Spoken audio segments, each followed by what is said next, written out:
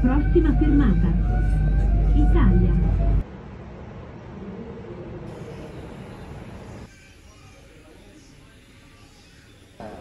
Allora, 13 anni ce l'ho a dire, guarda che ti